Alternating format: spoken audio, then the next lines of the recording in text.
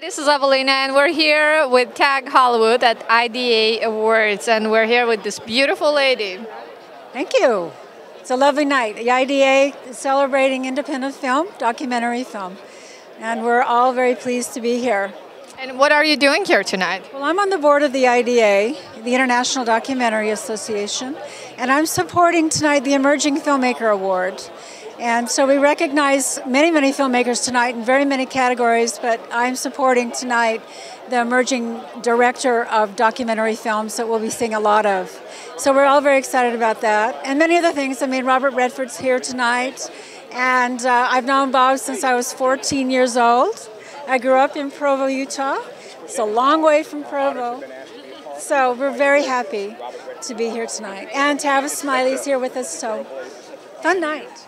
What, what is your favorite film tonight? Ah, I have many. Uh, Salt of the Earth is probably one of my favorite films. We just interviewed you. Did you?